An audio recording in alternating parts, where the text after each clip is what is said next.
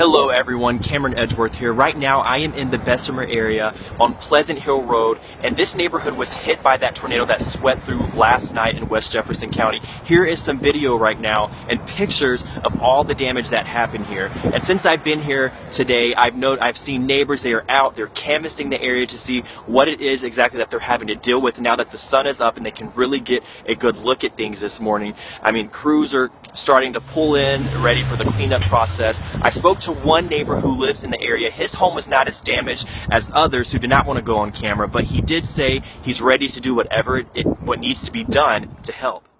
It's a tight-knit little neighborhood. Most of the neighbors know each other, which is unusual for this day and time to begin with. And uh, everybody was out taking care of everybody else last night, making sure you either had a place to stay, could get out of the rain, or had a place to eat.